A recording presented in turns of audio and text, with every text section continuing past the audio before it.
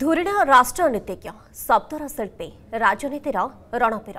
ଆଜି ଦେଶର ପୂର୍ବତନ ପ୍ରଧାନମନ୍ତ୍ରୀ ଅଟଳ ବିହାରୀ ବାଜପେୟୀଙ୍କ ଅନେଶତମ ଜନ୍ମଜୟନ୍ତୀ। ଏ ଦିନରେ ତାଙ୍କୁ ମନେ ପକାଉଛି ପୁରା ଦେଶ।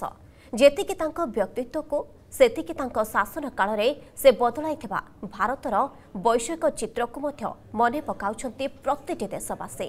ବୈଷୟିକ କଟକଣା ସତ୍ତ୍ୱେ ଭାରତରେ ପରମାଣୁ ପରୀକ୍ଷଣ କରି ଦେଶକୁ ପରମାଣୁ ଶକ୍ତି ସମ୍ପନ୍ନ ରାଷ୍ଟ୍ରର ସମ୍ମାନରେ ପରିଚିତ କରାଇବାରେ ତାଙ୍କର ଥିଲା ବଳିଷ୍ଠ ନେତୃତ୍ୱ।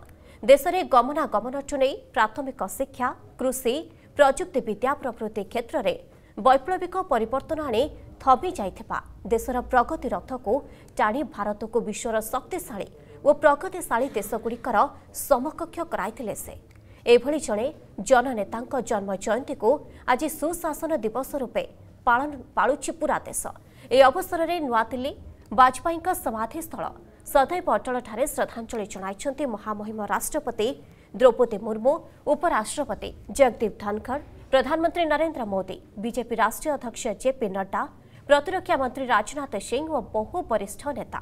ସେହିପରି ଉତ୍ତରପ୍ରଦେଶର ଗ୍ୱାଲିୟରସ୍ଥିତ ତାଙ୍କ ଜନ୍ମସ୍ଥାନରେ ଆୟୋଜିତ ହୋଇଛି ସ୍ୱତନ୍ତ୍ର କାର୍ଯ୍ୟକ୍ରମ ଏହି କାର୍ଯ୍ୟକ୍ରମରେ ଉତ୍ତରପ୍ରଦେଶ ମୁଖ୍ୟମନ୍ତ୍ରୀ ଯୋଗୀ ଆଦିତ୍ୟନାଥ ସାମିଲ ହେବାର କାର୍ଯ୍ୟକ୍ରମ ରହିଛି